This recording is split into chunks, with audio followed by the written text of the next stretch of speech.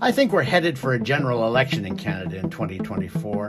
And I think there's a lot of parallels between this election and the 1993 election that saw the Liberals sweep the progressive Conservatives out of power and start up with a huge majority. In fact, that's what I think is going to happen this time.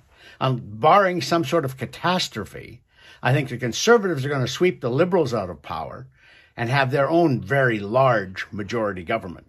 There's an awful lot of parallels. For instance, in 1993, we were at the end of a couple of years of recession, and voters were cranky about the economy. I think voters are cranky about the economy now. Housing is unaffordable for most people. Inflation is way too high, and the, the Liberal government doesn't seem to be able to do anything to control it. The cost of living is becoming more and more unaffordable every day, and the Liberals' response to that is to increase taxes.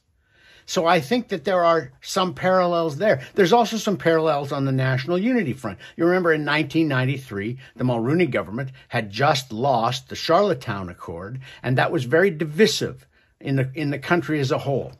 I think the Liberal government is just as divisive now under Justin Trudeau as the Mulroney government was. They have angered the West. They have angered uh, Atlantic Canada now. And I think that this is a recipe for a liberal disaster. But I think the big thing is the carbon tax.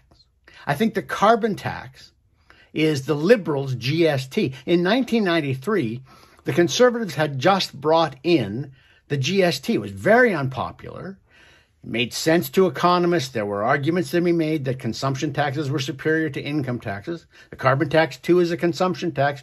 There are arguments to be made that that's superior to an income tax but it has become horribly unpopular. And then the Liberals went and made the massive mistake of giving one region of the country a holiday from the carbon tax, but not the other regions of the country. And that has simply blown the cover off of their carbon tax. I think the carbon tax now is every bit as unpopular with voters as the GST was in 1993. And so I think the carbon tax has become the issue that is going to defeat the liberals.